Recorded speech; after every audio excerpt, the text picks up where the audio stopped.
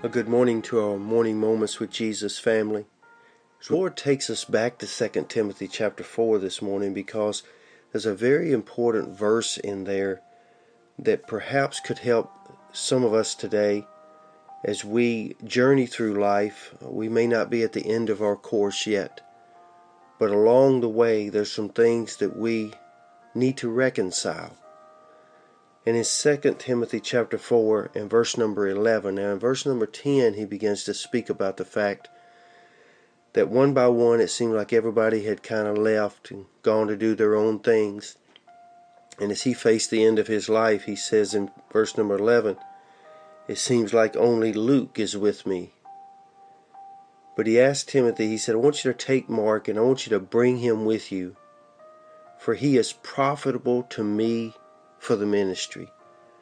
Now, why that verse is so important to us this morning is because during the time of Paul and Barnabas's ministry together, when they were in Pamphylia, Mark was with them, and Mark chose to leave them and go uh, back uh, and not uh, continue on in the ministry and in the missionary journey at that time.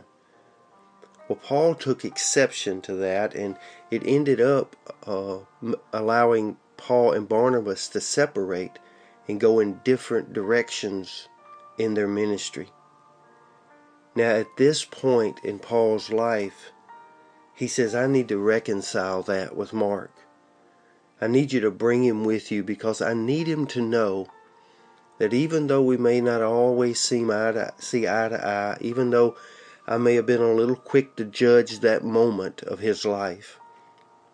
I need him to know that he was profitable to me in my life and to my ministry. I need to reconcile with Mark. And so the Lord speaks to us this morning and asks this question Is there anyone you need to reconcile with? You may not have always seen eye to eye. There may be some situations there, but God says this morning that a grudge can quickly turn into a crutch. And a crutch, whether it be physical or spiritual, can tremendously hinder your mobility and your ability to move forward in life. I've often heard it said the hardest thing to live with is regret. So, if it be possible today, ask the Lord to give you wisdom and discernment on how to go about reconciling with whoever or whatever it needs to be before your journey is over.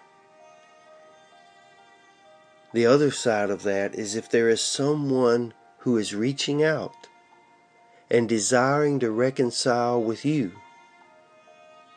Don't rob them of that blessing or yourself.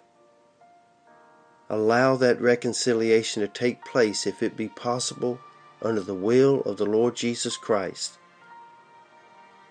Because Paul knew this. He did not want Mark to live with what could have been, what should have been, or what would have been. And Paul did not want to leave this earth with the same regret. So he said, I want you to bring Mark with you. I need to have a sit down with him. I need to have a talk with him. And I need him to understand this. He brought profit to my life at one time. Encourage yourself, encourage someone else today, and bring that reconciliation through the Lord Jesus Christ. He's the only one who can reconcile. I pray that blessing over you today. And God will give you the strength and courage to do whatever needs to be done. And you be safe, you be strong, and you be blessed.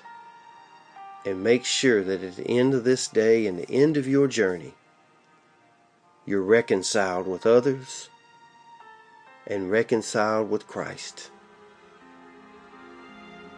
Amen.